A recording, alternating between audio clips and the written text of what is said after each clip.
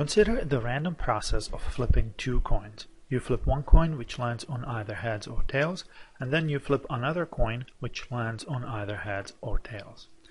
Write down the sample space of this random process.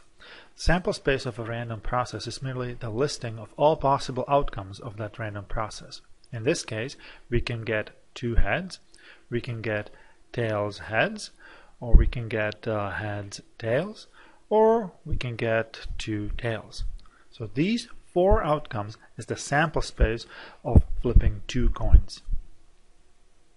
Let's now define a random variable x, that is the number of tails that results from this random process. So it's a mapping between the random process and some numerical values.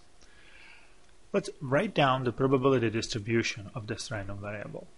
Probability distribution of a random variable is merely the listing of all the possible values that this random variable can take on and the probabilities that each of these values occurs. So in our case, the random variable can take on value 0 when we get heads heads, or it can take value 1, or it can take value 2. Now the probability of getting 0 is uh, 1 out of 4, that's when we get heads heads the probability of getting just one tail is 2 out of 4 when we get tails heads or heads tails. So 2 out of 4, that's uh, 1 half. Or it could be 2 when we get tails tails, which happens in 1 out of 4 cases.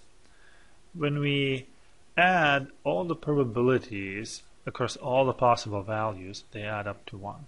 So the probability distribution tells us how the probabilities are distributed across all the different outcomes.